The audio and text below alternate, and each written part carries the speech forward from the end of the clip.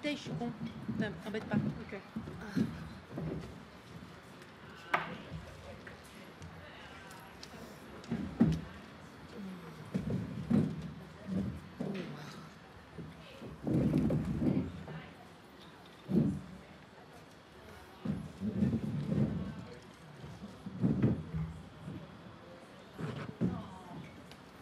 Ah bah voilà, comme ça, c'est parfait. J'ai mon petit Un cendrier petit bateau. personnel. Ah, ok. Ouais, mais comme on va être. Non, non, je vais. Non. Mais non, mais je bois la bouteille. Tout va bien. Ok, merci.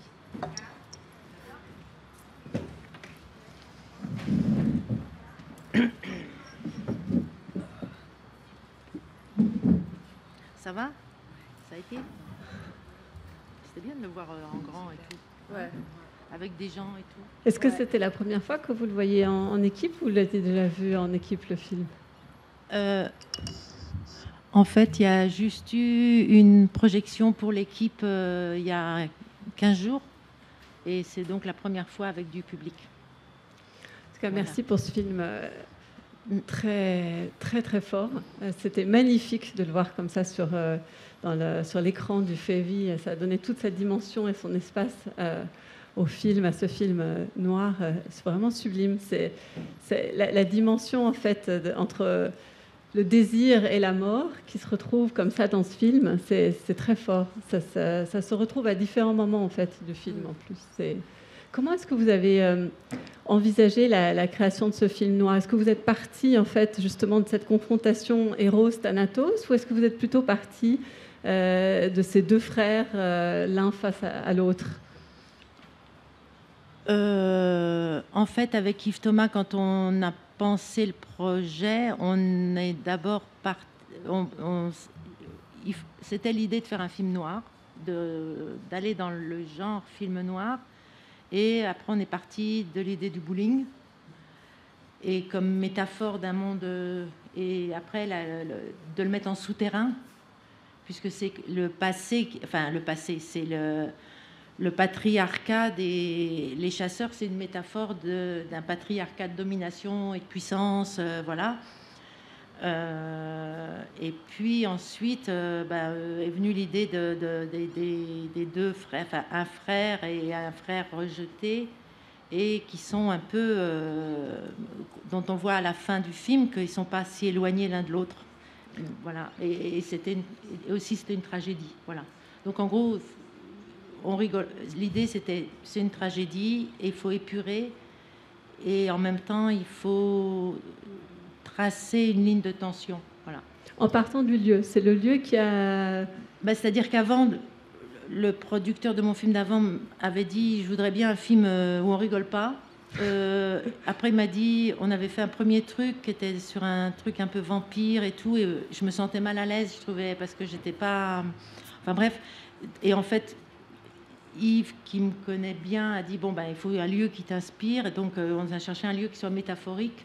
Et donc est partie l'idée d'un bowling. Et après, l'idée de l'enterrer, c'est un peu comme si c'était. euh, comme si le père était l'appartement au cinquième étage et en bas euh, il y a l'antre de l'ogre et c'est comme un conte très très sombre quoi.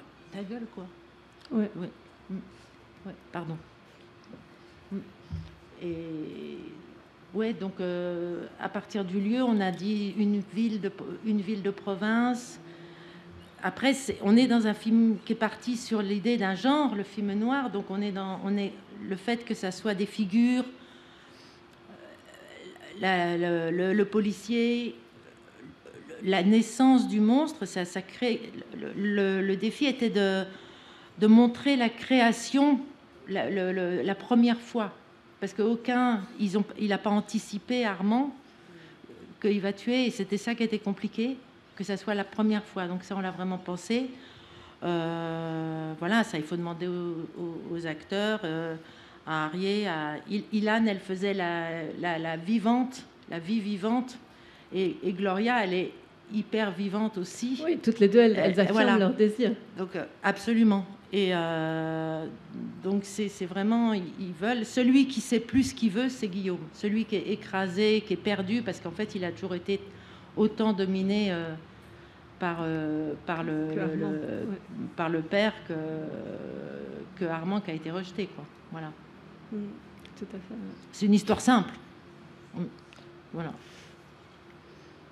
Et, et, comment s'est fait le travail avec les comédiens? Est-ce que vous avez répété ensemble ou vous êtes vous, vous avez répété ensemble Achille et Leïla euh, pour euh, la, scène, mais petit à petit, comment s'est créée la dynamique? Parce que vous avez chacun des expériences différentes. Achille et Leïla, vous venez plutôt du théâtre, vous, venez de cette très prestigieuse institution qu'est le Théâtre national de Strasbourg. Arié, vous avez beaucoup d'expériences cinématographiques.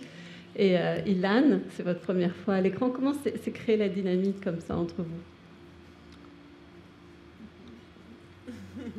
Euh, ils étaient tous les quatre, euh, enfin, ils, étaient, très différents. Donc, en fait, on faisait ce qu'on pouvait, je dirais. Voilà. Et après, hein, on faisait comme on pouvait. Et enfin, dans le sens où on tournait dans un très grand désordre à cause des contraintes de décor. On a fait dans trois villes pour faire ce lieu métaphorique. Donc du coup, euh, c'était une gymnastique de concentration vraiment compliquée euh, euh, de tourner à la toute fin du film quand ils, arrivent dans le bowling pour la première fois et le même jour quand ils sont un meurtrier et que lui découvre que son frère s'est foutu de sa gueule pendant toute la deuxième partie. bon, donc c'était toute cette gymnastique. Après, effectivement, la scène qui a été vraiment, vraiment répétée, c'est la scène du meurtre. voilà. Et après, les autres, ben, on... je me rappelle plus, en fait. Il faut. Euh,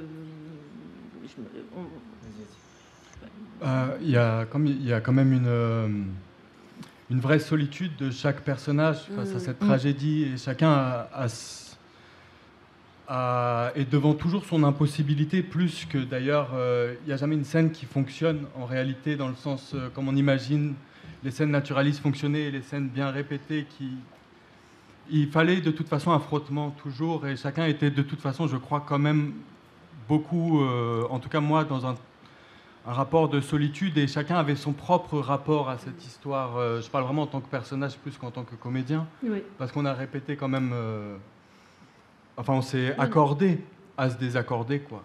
Mais c'était beaucoup une construction dans la solitude quand même pour aborder oui, cette forme tragique euh, qui frotte quoi, toujours euh, les uns avec les autres, le décor avec les personnages, et, tout ça devait être euh, construit chacun vis-à-vis du reste, quoi, je crois. Mmh, tout à fait.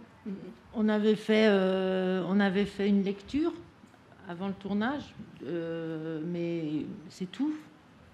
On voyait, quand même chaque soir, on, voyait les scènes du lendemain quand même. Mmh quand on pouvait sur le lieu, pas toujours sur les lieux. Et, c'est un film où c'est toujours des, des binômes, souvent les séquences. Hormis les chasseurs et les, quelques scènes du, euh, euh, avec les policiers, on se retrouve souvent dans, des têtes à tête. On est face à face.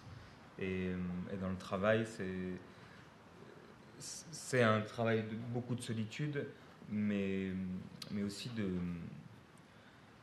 ça crée des univers très différents à chaque fois, parce que la, relation que chacun ici à table a avec, avec, avec euh, un autre était très particulière. Je trouvais qu'il y avait des... C'est pour ça qu'on voit, qu'on voit des changements aussi drastiques parfois euh, à l'écran, je trouve, de, mm. de rapport entre, entre les acteurs ou entre les personnages dans une constante avec une lumière très sombre. C'est pour ça les couleurs sont très très importantes dans ce film. On a parlé du film noir non seulement par, mm. par rapport au code euh, du genre du film noir, mais également par rapport à la lumière. Et ça donne quelque chose d'assez fascinant, parce que les yeux euh, des personnages ressortent encore plus. Mm. Mais c'était un truc de, rigueur dans le choix des décors pour vraiment tracer des lignes et en fait euh, de se dire on a de toute façon on avait pas tellement de temps de tournage et donc de se dire qu'il n'y aura pas de transition. Il y a une première partie extrêmement organique et après tout est décousu et on retrouve le côté organique dans le chaos du dîner des chasseurs euh, quand Swan arrive et qu'elle comprend Armand et que Guillaume s'écroule euh, et ensuite comprend, enfin tout ça, après c'est des, des dominos de chaos quoi. Oui, ça, ça c'était rigolo à faire, par contre, enfin pour moi. Pas assez de temps, mais ça, je trouvais ça. La scène du dîner des chasseurs, c'était rigolo à faire. Ah oui, mm. elle, est, elle est impressionnante, ça, ça avait une intensité. Euh, de... Ben, c'est-à-dire que tout était faux quand on l'a fabriqué, parce qu'on n'avait pas les, bons films, on n'avait pas les bons machins, donc c'était, il y avait le coin des... J'avais pas le temps, donc il y, a, un pauvre axe sur le dîner, on est toujours sur le même... Mais tant pis, je me suis dit, tant pis, il faut l'assumer. Et, euh, et, en fait... Euh, le truc qui aide, c'est cette idée dingue qui regardent leurs films de souvenirs de chasse comme si c'était un film de mariage. Euh, et, et, ce que ça redéclenche chez Armand, qui est, euh, lui, il, se réaffronte avec son père et c'est lui le lion abattu qui ensuite va, va s'abattre sur, euh, sur Swann. Donc voilà. Après, je me rappelle qu'au scénario, quand Armand il a embarqué Swann, normalement, quand Guillaume arrive, il y avait un hors-champ où il était en train, on recommençait de la violence et tout. Là, on ne voulait pas refaire une scène de violence. Donc c'est pour ça que j'ai mis les textes euh, complètement dingos euh, qui sont de 1789 avec les animaux et sauvages euh, et le commissaire de camp écartelé, ce texte en vieux français que, Armand qui n'a pas été à l'école à Nonne. Et, et du coup ça crée... En fait, je me dis que là, tout d'un coup, on comprend la vie qu'il a eue pendant un mois dans l'appartement de ce père qui est spectral, quoi, qui est très baroque. Mm. Voilà. Et euh, non, mais c'est ce qui était particulier, c'est cette scène justement de euh, finale de, de, départ de Armand euh, est, étonnante aussi dans le rapport entre les deux frères, où Guillaume est figé. Et comment expliquez-vous ce rire? Je ne l'explique pas, je crois qu'il est sorti comme ça sur le, sur le plateau. Ben euh, non, je t'avais demandé de rire. Ah bon? Ouais. Et ah, moi, euh, je me souviens que c'était. Euh, c'était nerveux. Ouais, mais rire nerveux. oui, ouais, ouais, bah on cherchait. on, cherchait. ah non, non, on cherchait. Donc à un moment, je dis. Parce que cette fin, elle a changé combien de fois? Ouais, ouais, bah oui, la fin, c'était. La, la, fin, on mm. savait pas trop. Bah, c'était difficile. Trop quoi, trop quoi, faire. tout le long du, du, tournage, on, mm. est, on a eu beaucoup de discussions là-dessus. Ah oui? Ouais, ouais, il y a eu beaucoup de, de va-et-vient sur cette fin parce que Bon, après, toi, tu en parleras. Euh, non, non, non, je, euh, suis, je, suis tout à fait d'accord. Euh, et, mais, mais, mais, sur, mais, sur, cette fin entre, entre Guillaume et Armand, pour moi, c'est très personnel, parce que moi, je vis le film autrement que quelqu'un qui, qui, va juste le regarder. Pour moi, c'était les mêmes, ces deux, deux, personnages au, au, au, centre de, de ce qu'ils sont. Euh, et, l'un n'est pas plus en, capacité de sauver l'autre euh, que, l'un que l'autre.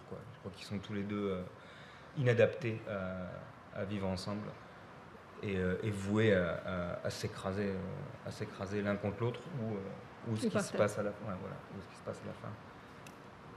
Mais dans la réaction pour moi de, Guillaume sur, sur Swando à la fin, il y, a, cette même violence qui sort, même c'est juste que, que, Guillaume s'est construit un, monde euh, euh, beaucoup plus noir et blanc, beaucoup plus structuré, euh, avec des principes, des, valeurs plus stables, on va dire, que celle d'Armand, et qu'il a beaucoup plus facile à, contenir tout ça, et, en tant que flic, mais, mais sinon en fait, il est pareil. Quand, il, jette euh, Swan euh, et quand après il, rit nerveusement, euh, c'est. C'est un soulagement, quoi. Et c'est pour ça qu'il y a le regard de Swan à la fin, genre bon, je, ils n'auront pas d'histoire d'amour, quoi. Hmm. Oui, heureusement qu'il y a votre personnage. Il a, on se raccroche. Est-ce qu'il y a des questions?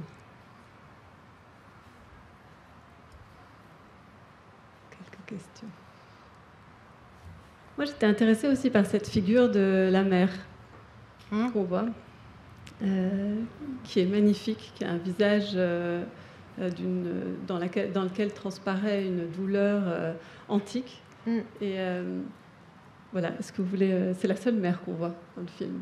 On, entend parler du père et de son poids. Ouais, et c'est la seule mère, et, et c'était parce que toutes les fille morte du film, on, oblitère les parents et tout, et c'était bien d'en voir une. Elle remplace tout le monde, quoi. Et elle, ben, c'était. Euh, là, franchement, c'est. Pour moi, c'était la figure tragique euh, de, l'ange de la mort qui vient lui dire euh, Fais gaffe. Enfin bon, c'est c'est carré. Hein. Mm. mais elle, est, elle s'appelle Vinciane et était très. Euh, on était très d'accord qu'elle devait. Il y avait une chose à faire, c'est le tragique, c'est tout quoi. Puis après, elle avait, il y avait, elle lui disait des choses à Guillaume, mais en fait, c'était qu'est-ce qu'elle peut lui dire là? Elle peut rien lui dire quand il arrive et qu'il voit euh, qu'il n'est pas venu. Et lui, il est vraiment là, il est, il est tellement empêché, son personnage, par la culpabilité dès le début, quand il veut donner le bowling, parce que quand il veut donner le bowling à son frère, c'est pour rétablir de la justice et en même temps pour se débarrasser du bowling, parce que lui, dans sa carrière de flic à succès, ça l'emmerde de s'occuper du bowling. Donc c'est double, mais en même temps, tout ça le coince et au fur et à mesure, il n'arrive à rien dans sa vie, il n'arrive pas à avancer dans son histoire d'amour, il n'arrive pas à avancer dans son enquête, il n'arrive pas à avancer avec lui-même. Il est juste de plus en plus seul. Euh, toute la partie commissariat, pour moi, mène à cette nuit au cimetière où il est comme un fou à arracher le lierre sur la tombe de son père en mangeant un petit gâteau. Quoi. Il, oui, les miettes oui. sur la tombe. Mm. Ouais. Ça, je à partir de là, nous, on, a, on sait comme spectateur, je crois que il a euh, la même sauvagerie que Armand qui peut mm. sortir. Simplement, il l'a contenu, comme dit euh, il l'a mis dans des lignes bien sociales, euh, enfin, tout bien. Et puis, en fait, c'est en train de craquer complètement. Euh, ah, mais après, le film, il n'est pas, il pas psychologique. C'est des moments entre organique, narration et de nouveau euh, bordel, quoi. Voilà. Comme une vision de cauchemar, en fait. C'est vraiment, et ça s'enchaîne comme une vision mm. de cauchemar. La scène, euh, justement, avec Leïla, que vous, avez un courage à interpréter, et, c'est vraiment, c'est ça, c'est le cauchemar du oui qui devient d'un oui joyeux, libre, mm. euh, qui petit à petit se transforme en, en, un non et en un meurtre. C'est très très difficile ce que vous avez joué. Ben ouais, ouais. Non, non. Ils l'ont, ils l'ont construite euh, avec des mouvements. Et, euh, et, le basculement, en fait, c'est par exemple, euh, je sais pas, il y a plein de choses que c'est eux qui ont amené, comme moi j'avais amené, j'avais dit le rire au début quand ils rentrent dans l'appartement, et puis tout d'un coup, ils se fichent, je leur avais montré l'affiche d'un film de Shima, pour, et là, Achille a eu l'idée qu'après ça devienne le rire, c'est pour ça qu'il la prend pour aller au lit, il la monte sur ses, il la porte sur ses épaules, donc ça faisait comme une, une bête à, deux têtes. Et puis après, on a la tendresse et après le basculement. Mais là, par exemple, je me rappelle, c'est Leïla qui disait, ben moi, je lui donne des petites tapes pour rigoler. Voilà. Mm-hmm. Et c'est des trucs qui rendent la chose vivante. Sinon, c'est, euh, enfin vivante, vraie, je crois, c'est de, de trouver à chaque fois dans chaque plan un détail au présent euh, où eux, ils malgré la mécanisation de la chorégraphie qui avait été installée pour leur laisser un espace de jeu, euh, où ils aient de, l'espace pour, euh, pour, être, pour rester vivants. Et, et, pendant, pendant le, la scène, je, moi je, me disais, il faut être, on est dans la tête d'Armand et on est dans la tête de Gloria, c'est-à-dire c'est très il ne se rend pas compte qu'il tue jusqu'à un certain moment, et là après il y va, il accepte et tout. Et elle, elle se rend, et euh, elle, elle euh, jusqu'au bout, elle essaye. Et, donc ça montre que c'est pas, enfin voilà, c'est pas cool quoi. Hmm. Euh. Mais et c'était c'était de, de comprendre que c'est la première fois, parce qu'après Guillaume qui retrouve son frère après les cimetières et tout, et qui comprend pas pourquoi tout d'un coup il vient le voir au commissariat. Après, chaque fois qu'on voyait Armand dans la partie où il y a Guillaume, qui est d'une solitude tellement incroyable dans son commissariat, où il rentre pas chez lui et tout, euh, c'était à chaque fois un autre Armand. Euh, c'était cette espèce d'homme décousu qui, fait qu'il y a un truc qui sent bah, après, c'est le principe euh, classique du polar où on voit euh, qui devrait voir, mais qui voit pas, quoi. Mais du coup, ça me met avec lui, quoi. Mm-hmm. Euh, les comédiens expliqueraient sûrement mieux que moi plein de choses. Mm. Mm. Et, et Leïla, du coup, pour vous, c'était pas la première expérience au cinéma? Euh, C'était pas la première. Euh, j'avais déjà joué euh, ouais, deux ou trois films avant, mais c'était la première comme ça. mais c'était la, c'était la première fois que j'avais affaire à une scène pareille. Mais le fait de le fait de le faire avec Achille où euh, on se connaissait déjà dans le travail, euh, puisqu'on était dans la même promotion euh, à l'école de théâtre à Strasbourg, facilitait beaucoup les choses. Et puis on a beaucoup parlé avec Patricia avant. Oui, vous, vous avez eu du coup la possibilité vous aussi de proposer des choses à Oui, on a vraiment échangé. Il y a eu un premier temps vraiment de discussion autour de la scène, de comment c'est quoi les enjeux, qu'est-ce qui se passe entre eux, euh, euh, comment euh, ça se déroule, et puis après un temps de répétition vraiment physique, quoi, avec un cascadeur. et puis, mais du coup, ça s'est construit vraiment ensemble. Mm. Et moi, ce que je trouve intéressant dans la bascule de la scène, c'est que je pense que autant pour Gloria que pour le spectateur, on ne comprend pas à quel moment ça bascule. Et c'est mm. ça aussi le cauchemar, c'est que euh, je pense que on comprend que ça a basculé après que ça ait déjà basculé. Ben oui, parce que ils sont, vous êtes désynchronisés dans la compréhension. C'est ça que ça... Jeu aussi oui, oui. avec les mm. mm. euh, que la violence au départ, euh, elle le prend comme un jeu.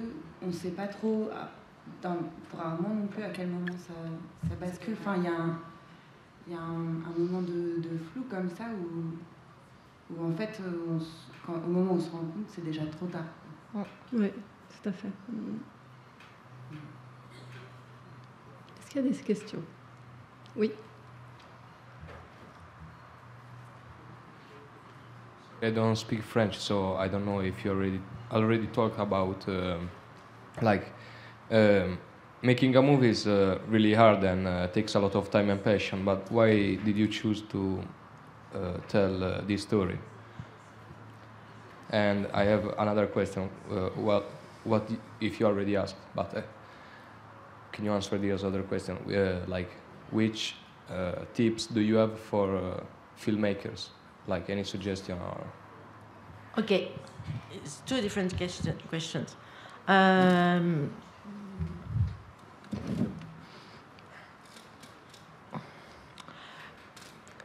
pourquoi j'ai voulu faire ce film euh, Quoi Ouais. Euh, il va mettre son, euh, son casque. Ouais.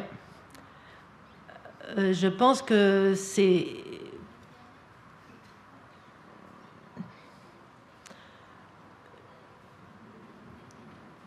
C'est bon? C'est bon. Ok. Euh, je pense que le sujet du film, c'est la sauvagerie en héritage. Voilà. Euh, mais je pense qu'au début, quand je le construisais, c'était pas très clair pour moi. C'est venu pendant, euh, par plein de touches, comme de tableaux, de couleurs et tout. Et, et puis après, c'est un truc catharsique qui se produit aussi pour le spectateur quand il aime le film, qui est que, en fait, ça, ça nettoie. Euh, dans le sens où je pense que c'est comment traiter la violence au cinéma. Et c'est pour ça qu'il y a une. Il y a deux grandes scènes violentes, c'est celle du meurtre et celle du dîner des chasseurs qui sont toutes les deux aussi violentes l'une que l'autre. Mais elle est même pire, celle du dîner des chasseurs, parce que parce qu'ils sont contents. Euh, mais euh, du coup, de répondre, je pense que ça m'intéressait en termes de cinéma, de voir comment on fait la violence au cinéma maintenant, tellement on voit tellement de scènes de violence entre les infos ou le cinéma ou quoi au caisse. Enfin, je veux dire, euh, c'est plus euh, la banalisation des choses. En fait, c'est de traiter le temps dedans, le temps des plans, voilà. Bon, et alors les tips à filmmaker, euh, il faut chercher de l'argent. Voilà. chercher de l'argent. Et après, mais ça, c'est moi, je, je pense que j'aime bien que chaque film soit une aventure risquée. Voilà. Donc, euh, chaque fois que je commence un film, je ne sais pas du tout si je vais arriver à, savoir le faire. Et donc, j'essaye de travailler pour le rendre le plus solide possible par plein de détails. Euh, voilà. Et puis, ah oui, non, le gros truc, c'est de ne pas se tromper de casting. Ouais. Parce que ça, on ne peut rien faire. Si on n'a pas avec les. c'est pas moi, la direction d'acteur, je ne connais pas. Euh, c'est juste d'avoir les c'est le, bon, le, bon moment, le bon casting, c'est ça qui fait 90% euh, du film. Merci. Merci. Est-ce qu'il y a d'autres questions? Oui. Merci. Ah bah, j'ai beaucoup aimé votre film, mais j'ai une question concernant la toute dernière scène. Euh, je me demande si dans le scénario, à l'origine, euh, la dernière scène était prévue telle qu'elle s'est présentée après à, nous, les spectateurs. Parce que, parce que j'ai trouvé très intéressant cette partie, cette façon très sèche de terminer le film. Et j'ai cru voir même un malentendu entre le nouveau couple qui se formait, le frère qui reste en vie et euh, la femme qui le fascine, mais euh, effectivement, au moment où le duel est terminé, il ne comprend pas très bien le rôle que sa, nouvelle amie joue dans ce moment. Il se croit trahi par, par elle. Est-ce que j'ai bien interprété ça? Euh, ben, c'est vous qui vous appartient le film. Hein. Moi, que je dis, un film, il est fini, il appartient aux gens qui le voient. Mais après, euh, moi, c'était le contraire. Et comme m'a dit la fin, elle était. En fait, on s'est bien pris la tête sur la fin parce que c'était une question de temps de tournage. On avait bah, aussi, j'avais très peu de temps pour la faire, donc je pouvais pas faire compliqué. Après, le problème, c'est que de toute façon, on savait qu'il allait trouver le tueur, on savait qu'il fallait finir le film, et on savait qu'on n'avait pas beaucoup de temps pour le finir. Bon, ça faisait plein de trucs. Et puis, après, le truc où là c'était compliqué, c'est qu'à un moment, il y avait des, il y a eu dans le scénario, il y avait une bagarre homérique, mais une bagarre homérique, si on n'a pas beaucoup de temps pour la faire, elle ne sera pas homérique, ça sera juste une bagarre. Euh, euh, donc il fallait la, faire sans trop la, sans trop la voir. On l'a faite, mais elle est très rapide, la bagarre entre les deux frères. Et on est à ce moment-là du point de vue de Swan, qui là, elle, va planter le couteau et le truc, c'est dans une version, elle était beaucoup plus active, elle, euh, voilà. Et en fait, c'est pas un film. J'avais parlé, euh, comme on tournait tellement dans le désordre, les dimanches, j'appelais la monteuse et euh, je discutais de, de, de, ce que ça dessinait, ce qu'on faisait, tellement c'était le, désordre à cause des décors. Et, et en fait, on, voyait bien que dans ce film, les hommes ne laissent pas beaucoup de place aux femmes. Donc on avait deux femmes très vivantes, une qui devient la victime et l'autre qui doit rester la vie vivante, comme dans un livre de Dostoevsky. Et, euh, et en fait, pour moi, quand il dit à Swan qui vient, une fois qu'il est par terre, il lui dit me touche pas. C'est, je voulais, je cherchais un truc où on voyait qu'il était méchant comme son frère. Alors j'avais imaginé des trucs complètement rocambolesques. Heureusement que je les ai pas faits. Euh, mais euh, dont vous n'avez même pas eu idée. Euh, voilà, parce que je pense que là, ils auraient quitté le film. Et, mais, mais, mais en fait, c'était juste qu'il il, il rejette la femme qui a tout le temps et qui, affirmait son. Parce que, effectivement, comme dit il est enfermé dans ce truc de passif et de tragédie avec son frère. Mais du coup, il est d'une méchanceté inouïe, là. Et après, quand son frère tombe parce que l'autre, à la fin, avant de tomber dans le tuyau euh, de gravat, euh, à côté du tuyau de gravat où il avait évacué les corps, parce que ça, c'était une idée euh, visuelle forte de jeter les corps dans le tuyau de gravat de l'immeuble, parce que ça faisait comme l'intestin de l'ogre du père pour moi, voilà. Et, et donc, il, Armand, avant de sauter, est vraiment passé dans l'autre dimension et, lui dit, tu vois, je t'ai bien niqué. Donc, euh, et ça, du coup, Guillaume se retrouve comme un. Moi, je me raconte ça, mais après, il faudrait vraiment leur demander à eux parce que je ne sais pas. Euh, Guillaume, il est. Ah Soulagement. Hein, voilà, il est parti, mais en fait, il sait très bien qu'en même temps, il est niqué aussi. Ils sont perdus tous les deux. Ils sont très, très. Voilà. Et, à partir de là, Ilan, pour moi, enfin, Swan, la haine avec laquelle elle regarde euh, Guillaume n'est pas parce qu'il lui a dit me touche pas, mais c'est parce qu'il a ri à la mort de son frère. Voilà, parce qu'elle, elle est, elle est dans une, euh, dans une appréhension euh, des choses vers la vie. Voilà. Je ne sais pas si je vous ai répondu, mais j'ai essayé. Mm. Merci. Il y avait une autre question? This time is for the actors, and uh, I want uh, to know, like, which advice do you have for somebody that want to be an actor? Ah ben, il faut demander aux acteurs. Hmm. Ouais. Quel conseil pour quelqu'un ouais. qui veut être acteur Ouais. Euh, bah de... Just busy yourself with a lot of things that are not about acting and not about movies.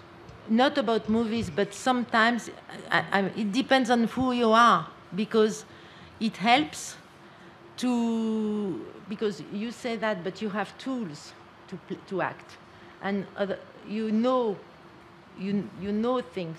You know, and yeah, but I suppose that if you mm. want to become an actor, you're going to work at becoming an actor. But it's, mm. I think it's more important to spend your life living stuff than trying to understand how to talk about it or, or tell a story because you know a lot of people are very good but doesn't make them happy because anyhow we're not but just that's what that's my tip just I, I uh, did the complete opposite because i studied acting for eight years so i spent eight years studying instead of living so i think there's no real rules but um, I know it was a great experience for me to study for so long acting. I didn't think I was going to study for that long, eight years in acting schools. But um, I think it taught me a lot, and as well, um, uh, watching other actors and reading books about acting and.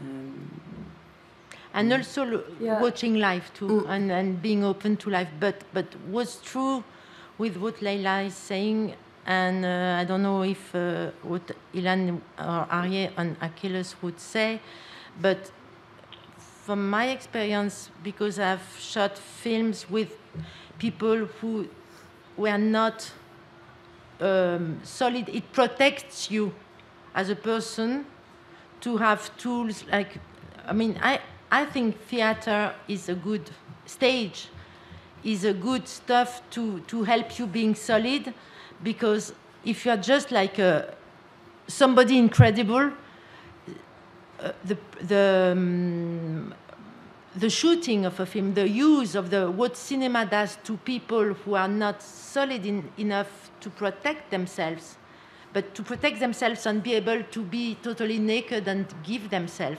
Mm. You have to be solid because otherwise, then you are just going to go down and down each part, and then uh, to be to be desperate after 10 years of acting if you are not a solid person who knows how to to get some uh, solidity elsewhere. Mm. And I feel also that sorry um, there is something about uh, the trust uh, you have in the director. I am not an, uh, I never act uh, in a movie before, and director can see in you something that you cannot see, and if they picked you, it's because there is something that in you, and I think that that trust was really helpful. Um, yeah, and and if you suck, it's it's in a way because of you get to say yourself like it's because of also the choices of the director. If it, if they don't, I, I feel like it was helping me to feel more confident. Uh, really, the trust, the trust. um, Uh, uh, I'd like to say also that, uh, sorry for my English, but um, I think you want to be uh, one who creates, and that's the thing who protects you. Because um, being uh, one who acts, it means you represent yourself. Um, like your work, your work is your work. It's the work that you are creating, and that you have a vision to, or desire or fantasy, but it's uh, an, an, elsewhere. It's not uh, who you are, you, and it protects a lot to tell ourselves that um, uh, it's like a painter, or even if it's a fantasy, because acting is a weird art, but you want to be like a writer or a painter, like uh, this, de this desire uh, make happy, to make me happy uh, at least, but to want to be someone who, yeah, who see himself as uh, one who wants to create, and uh, then uh, then as long as you want to create, the people you work with, mm. it will be, uh, it's never about ego at this point, because it's about discussion about arts and about, um, yeah, dream and uh, darkness also, but it's, it's uh, fric friction. It's uh, friction. Friction, yeah. Merci, oui, il y avait une autre question là, et puis là, deux questions encore. Here, just on your right hand side. Well, first, um, thank you for this very intense and, as you said, dark movie. Um, I had to take uh, some, some breath after the movie because it was very intense, and I wanted to ask the cast, um, what does this kind of movie do to you after after you spend a certain amount of time in these roles and in this movie? And does this affect you in somehow emotionally also, or is it just work? And after a shoot, you go home and say, "Okay, that's that's my daily work, and now I'm uh, somewhere else with my thoughts and emotions." I can. Um, I thought it was just work. Um, and at the same time, I mean, for me, who plays the victim and who's very scared and goes through all these emotions that are pretty awful, uh, I had a lot of joy doing it. Um, it might sound weird, but it was it was actually very joyful, even on set. And it was um, a fun experience. Um, but I think I did have a few nightmares. so I think it's it always kind of affects you, and but I wouldn't say that it. You know, I didn't have to go through any kind of therapy afterwards or anything to. So I think you know you. Well, for me anyway, I it's it, it is quite separate. It just it's like reading um, when you read well when you watch the film or read a book or it accompanies you, but it doesn't um, change the way you feel in your everyday life. For me. Merci. On a le temps pour juste une dernière question, vite, vite. Pour vous, ouais. Merci beaucoup. Euh, oui, je voudrais poser une question en particulier à Madame Lucas à propos de la relation avec les chasseurs. J'avais l'impression que votre personnage avait entrevu quelque chose de leur, de leur comportement, de leur mode de vie, au-delà de la simple opposition euh, d'activistes. Euh, J'arrive pas vraiment à mettre le doigt dessus. Est-ce que vous pourriez développer ça?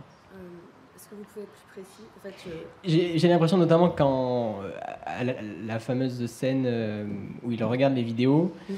où vous avez, où votre personnage du moins avait euh, entrevu quelque chose qui était au-delà de simplement il tue un animal et notamment la, relation qu'ils ont entre eux, qui est une forme de fraternité, de, camaraderie masculine. ouais. voilà de patriarcat, de type de dominance, de violence. Euh, je pense que euh, Swan, c'est très très bien au-delà de. Enfin, elle découvre pas quelque chose d'eux. Elle est juste consternée euh, d'observer cette scène, cette délectation de la violence, cette délectation du souvenir d'avoir tué Elle est en choc, bien sûr. Mais je pense que ce qui se passe surtout chez elle, c'est euh, cette compréhension de ce qui est en train de se passer chez Armand, qui, euh, qui tout d'un coup devient très troublante, parce qu'il il se transforme euh, à ce moment-là. Et je pense que, voilà, je, je, je, le, je, le, vois plus comme ça. Elle est là, elle les observe, elle est consternée par leur... Par la, par le fait qu'ils jouissent de ce qu'ils trouvent beau. Voilà, ça, ça les consterner. Et effectivement, après, par contre, elle, a, elle, elle pressent, mm. elle voit la transformation d'Armand, elle la sent, et euh, là, elle a peur. Là, elle veut aller chercher Guillaume et elle se fait rattraper. On doit s'arrêter là. Merci beaucoup. Mm. Merci. à vous. C'est ça parce que j'ai euh, voilà. Quoi Oui, je sais, il faut y aller, ouais. Oui, oui. Quoi Oui, oui. Oui, d'accord. Ok.